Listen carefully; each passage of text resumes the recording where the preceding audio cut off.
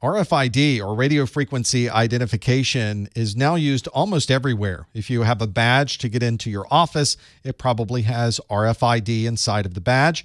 If you're working on an assembly line or you work with inventory, it's a great way to track where the inventory might be.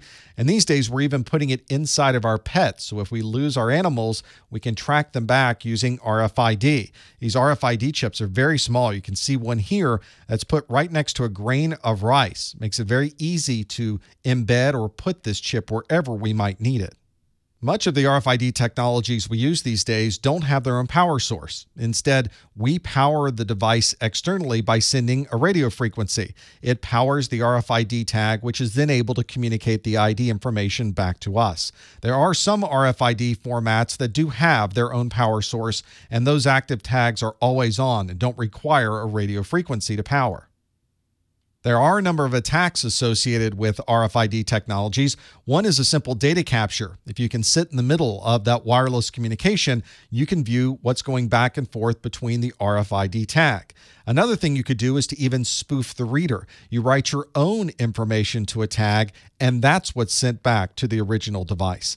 You could also jam the signal so that even if you're trying to read that tag, there's too much noise in the air and you're not able to read anything from the RFID tag itself. And one of the challenges is that although this communication is encrypted, a lot of the decryption keys are out on Google. You can simply find the decryption key for your technology out there available with a simple search of the internet.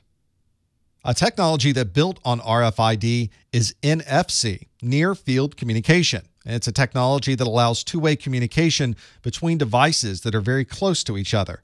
We see this often used with payment systems. We can simply use our phone and we can easily pay for devices by waving our phone at these payment systems. This is something that can also be used to bootstrap other wireless devices. For example, NFC is often used to get a Bluetooth pairing going between two devices.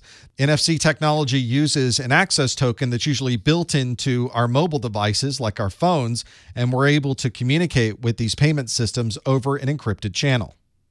The security concerns we have with NFC are very similar to those we have with RFID. You have traffic that's going over a wireless network, so if there is someone in the local area, they could potentially capture that data. You also have the challenge of someone jamming the frequencies being used for NFC and causing all of your NFC devices to not operate. There might also be an opportunity for a relay or a man in the middle attack, especially if someone has gained access to the encrypted data. And of course, if you lose your mobile device, someone now has access to that token and could potentially use it for an NFC based transaction.